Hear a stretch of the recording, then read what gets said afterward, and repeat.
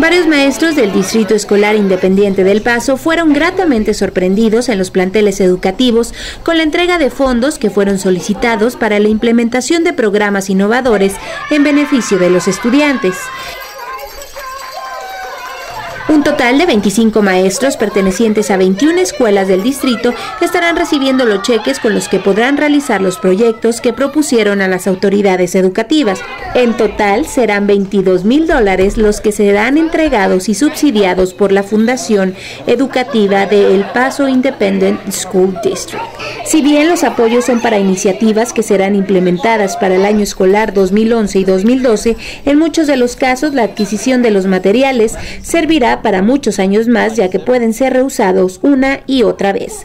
Para Diario TV, yo soy Carla García, camarógrafo Armando Vela.